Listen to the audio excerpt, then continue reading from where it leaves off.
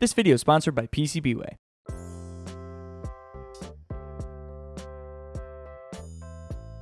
Hello my goblins and ghouls, my name is Stephen. A lot has been going on in Index World, so first off, let me give you a quick update.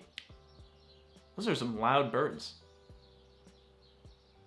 Those are some loud birds. I have been trying to split my time between half the time working on fun, cool R&D stuff that I can make videos about, and then the other half trying to set things up so I can start manufacturing and selling kits. And these two things are like pretty separate.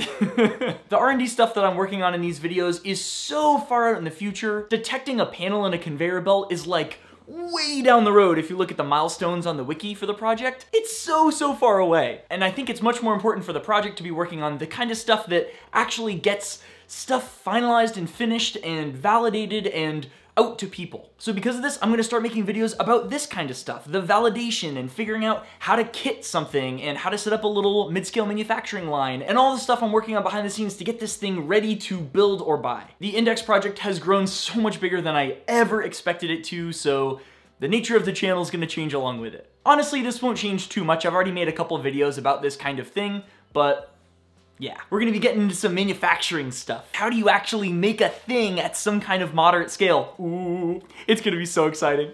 It's gonna be so good. So that means that the stuff I'm working on right now is getting the frame validated. I do not feel comfortable recommending that people build an index right now because I haven't actually quantified how good it is at doing the thing. Sure, I've picked parts before and I've gotten pretty good precision with some vision stuff, but it's not at the point where I'm okay telling people, yes, go spend money on this for an actual working tool and not just to help with R&D. So that's what we're gonna do. The biggest and most important change that needs to happen before validation efforts can go through is making it so that tensioning in the whole machine is way simpler and easier to do. Right now, all of the belt tensioning is done by hand, pulling it as taut as you can, and then trying to clamp down something and bolt it in place it's hard to get good precise tension on all the rails and make sure that you're actually getting a good Cartesian movement system. If you can't have really good, consistent, accurate tensioning on your gantries, you can't necessarily say for sure you're not gonna get a tremendous amount of backlash in all your movements, and you're not gonna get really good precise placement with your nozzle. So that's really important to add in. I've gotten a ton of feedback from everyone in the Discord that this is something that people very much want and are missing in the build right now, so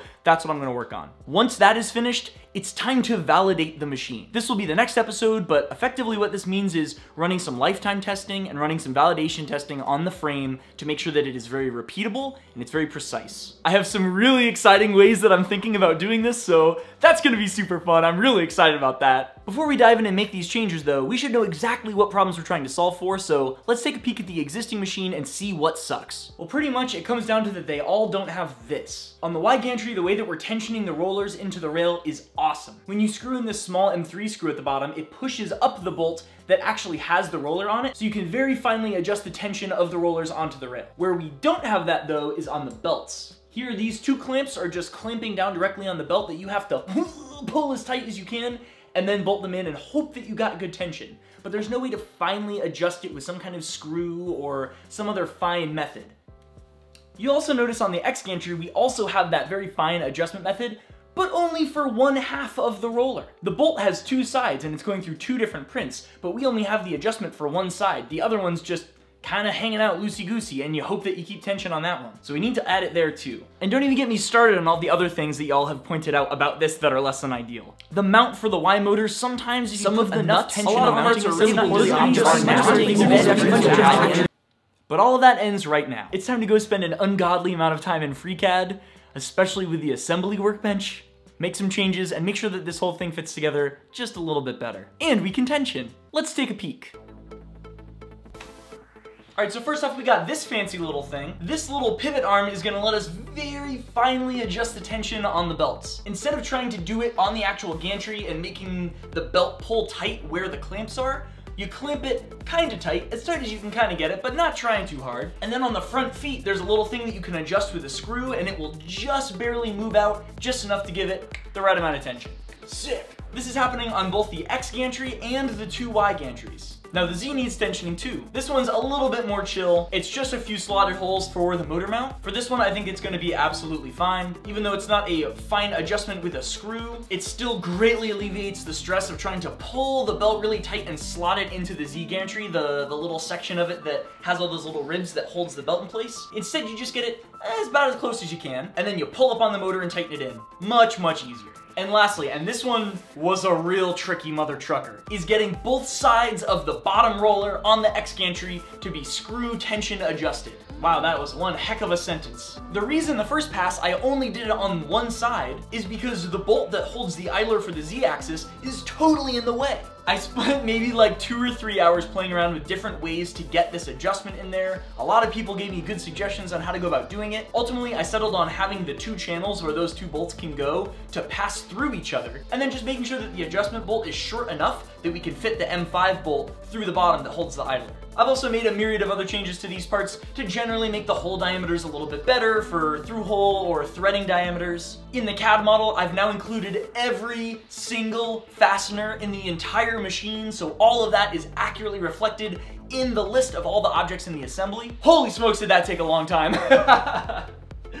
but it's in there. So, now it's time to take all of these parts, send them over to my brand spanking new Ender 3, and print a new version that has the spiciest tensioning this side of the Mississippi.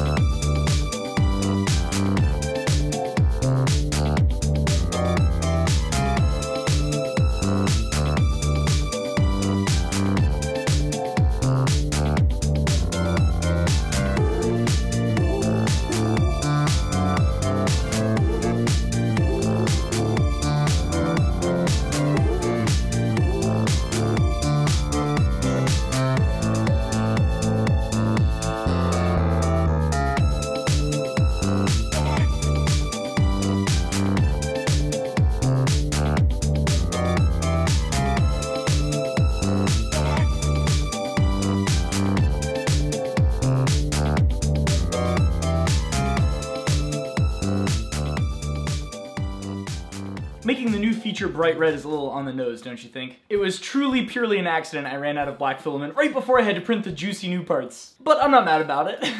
I'm about halfway putting the whole machine together, and so far I am loving these new updates. This whole system for tensioning the belts is an absolute dream. When I was tensioning the belts, tensioning, I shouldn't even really say tensioning, but just attaching the belts onto the actual Y gantry, I pulled it about as taut as I could without worrying too much about it, and having this little adjustment piece all the way in, so I had plenty of stroke to adjust it later. And then after I clamped it down, I came over here and just twisted it until I got some good tension, Bada bing, bada boom, baby. It's like perfect. I am so excited.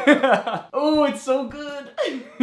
I've also mounted the X gantry and that whole system for tensioning both sides of the rails also works so well. I was a little worried about getting that M3 adjustment screw all the way up into the part to actually adjust the location of the bolt that has the roller on it, but it went straight up, no problem, and it totally got out of the way for putting that other bolt in, the perpendicular one, that acts as the idler for the Z gantry. Just super stoked about it in general. So far, the tension on the Y is like really consistent and just wonderful. I can't test the X yet because I haven't put the whole wiring harness in and that has the motor, which is part of the whole assembly for the X gantry, so I'll be able to test that one in a second. But with the two Y gantries so far, oh, it just, it's really good. Finally, like super, super fine precision tuning of tension for all the belts going on so far. Really stoked. Chef's kiss, baby. Chef's kiss. So now I need to get the wiring harness in. this is actually kind of cool. it's like all the perfectly lengthed cables with all the printed parts attached, just holding everything in place. I kind of like it, it's funky. But bolting this on and plugging everything in will then get us to the point where we can really test this thing out and see how we're looking.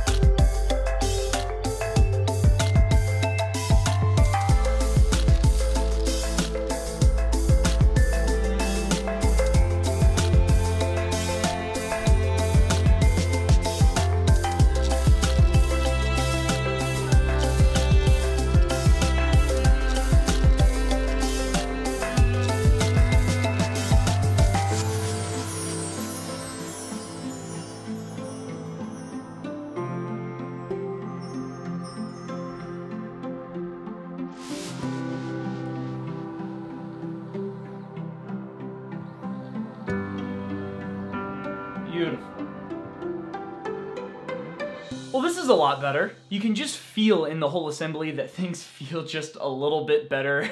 it feels a lot more rigid and also the tension is exactly where I want it to be. Adjusting these little hinge tension arms things is so good and works so well for getting a really specific amount of tension that I want for all my axes. I feel super good about how this version came out, including how easy it was to put together. I've put together a lot of these frames, and a lot of the changes that I've made made it easier to put set screws in and fit stuff together and figuring out kind of an order of operations of what part should go where. But of course, all these observations are purely qualitative. I don't know actually numerically how good this is. And that is why the next episode is gonna be all about validating this design. I need to make sure that this machine, as printed, as is on my desk right now, can pick and place 0603 components at least, that it is repeatable and can consistently come back to the same location, not just doing it once, and that after running a tremendous number of cycles, it doesn't get any slop developing or any other weird errors that show up after running a bit of lifetime in it. These are all things that I'm gonna explore in the next video.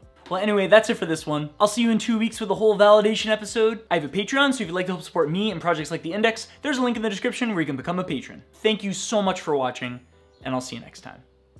But before I go, I want to thank this video sponsor, PCBWay. PCBWay has been making all of the boards for this project, and they have always come out really, really nice. I've asked them to do some pretty wacky stuff, especially with the feeder, using their boards not only as a mechanical part for the actual structure of the feeder, but also for the indexing wheel, which needs to have certain reflective properties and mechanical properties to act like it's supposed to. Pretty funky stuff. The Gerbers I gave them were like borderline insane, and they still totally put it through their process, and they came out great. From the time you put in the order to the time you get them at your door is usually about a week. If you're looking for a board shop, I highly recommend PCBWay. Thank you so much to PCBWay for sponsoring this video.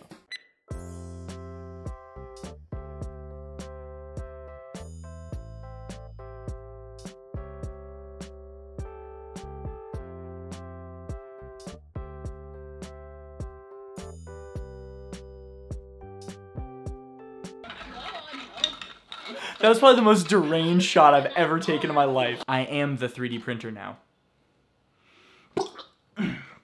Excuse me.